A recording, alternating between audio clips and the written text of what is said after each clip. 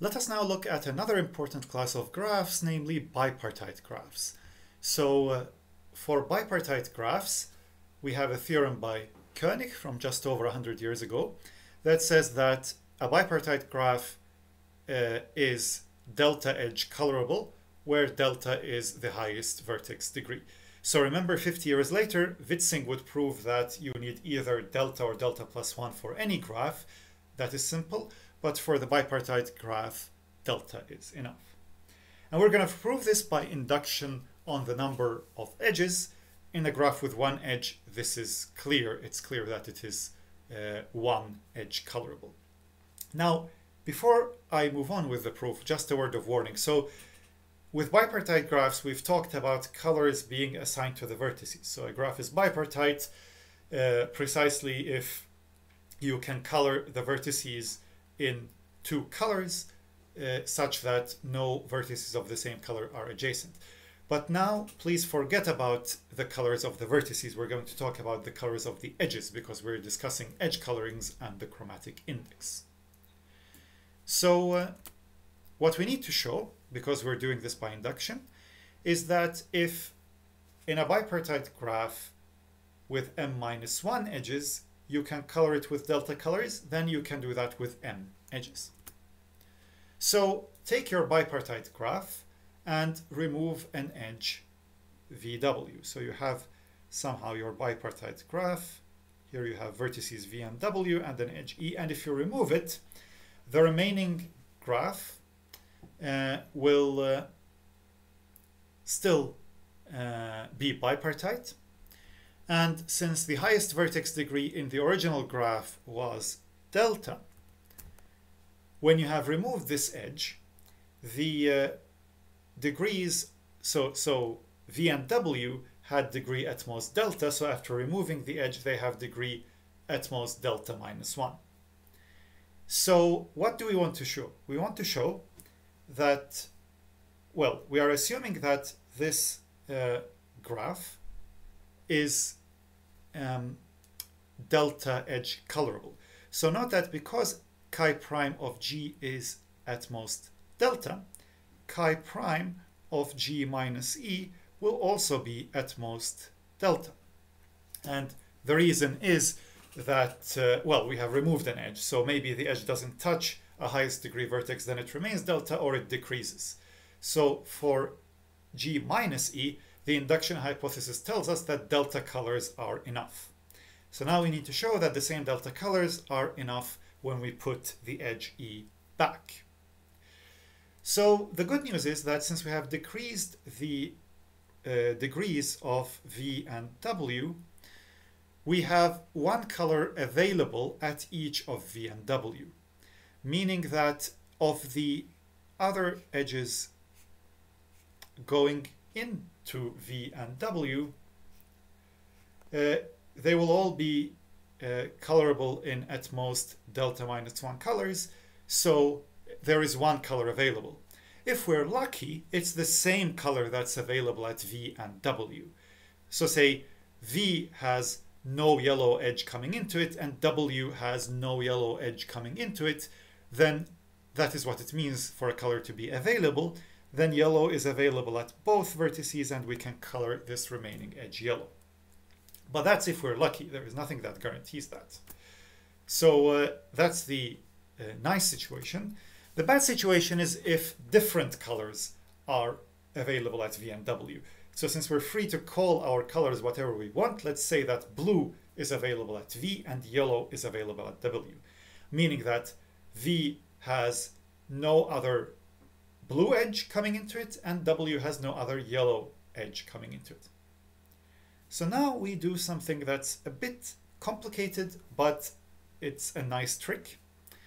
So you look at the following. You look at the subgraph of G that is that consists of all the vertices and edges that are reachable from G using only blue and yellow edges. So uh, we have here V, and we have here W. And you have all sorts of edges with all sorts of colors that uh, attach to V and W.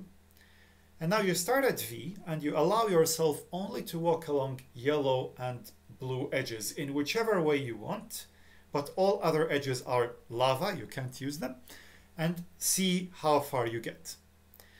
And the point is that this subgraph cannot contain W. Why is that? Well, so if you have your edge, your vertex V here and your vertex W here, and so blue is available at V, meaning that there is no uh, blue edge at V, but yellow is not available because uh, we're assuming that uh, there is not the same color available at both V and W. So you start with a yellow vertex and then a yellow edge, and then you come to some vertex. And this vertex will not have any other uh, yellow edge coming into it because edges cannot be colored the same color.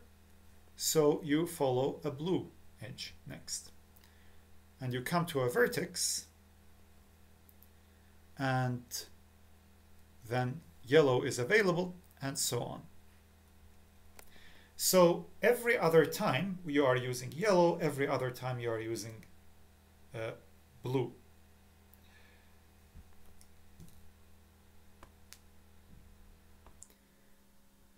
So remember now something about bipartite graphs. V and W are not just some random vertices. We know that we have our mysterious edge E that nonetheless exists between V and W and we still need to color that. The existence of edge between V and W mean that in, since our graph is bipartite, V and W cannot belong to the same set. They belong to different sets. One is black, one is white. But this implies that uh, any path from V to W will have to have an odd uh, number of steps. Because if you have a bipartite graph like that, so you have V somewhere here and W somewhere here. And every second time you are down here, every second time you are up here. So it will have to be an odd number of uh, edges. And here's the funny thing. If you go from V start with yellow, blue, yellow, blue, and so on. At, after an odd number of steps, you will be arriving to W on a yellow edge. But we said that yellow was available at W, so W have, has no yellow edges arriving into it. This gives us a contradiction. So all this to say, so far we're not, we haven't proved the theorem, but all this to say that starting from V, if you just look at the subgraph of everything that is reachable on just blue and yellow edges, you're not going to get to W. So then, in this subgraph, you can flip the colors, recolor this subgraph, making the yellow edges blue and the blue edges yellow, and leaving all other colors the same. This is possible because this graph in itself, I mean, you can always uh, change you can always swap colors. In, you can take the entire graph and say, okay, in the whole graph, I'm changing blue to yellow and yellow to blue. This will not change anything. This is just renaming the colors. But the reason I can do it for this subgraph is the subgraph is everything that is reachable with yellow and blue edges. So there is nothing, this subgraph has nothing connecting it to the rest of the graph with yellow or blue edges. So I can, in this minor world, I can change the colors of blue and yellow. Now suddenly yellow rather than blue becomes available at V. So I'm again in a situation where V and W have the same color available and I can color my missing edge yellow. This was a bit of a tricky proof, but it shows that a bipartite graph can be colored with the same number of colors as the highest edge, uh, the highest vertex degree. As a consequence of this, uh, we get that the complete bipartite graph on R white and S black vertices Well, the degree of the white vertices is S, the degree of the black vertices is R, so the maximum of these two numbers will be the chromatic index of the complete bipartite graph.